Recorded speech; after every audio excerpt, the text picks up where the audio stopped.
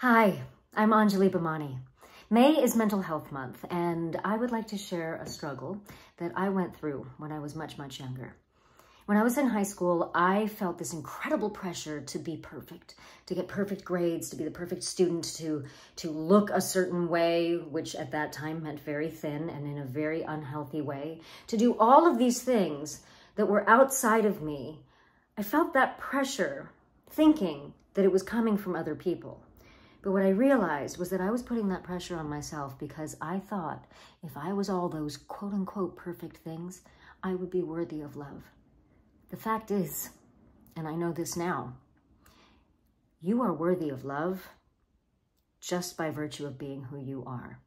This wonderful, unique person that there is no other version of in the world. You are the only you that we have, and we would miss you so much if you were gone.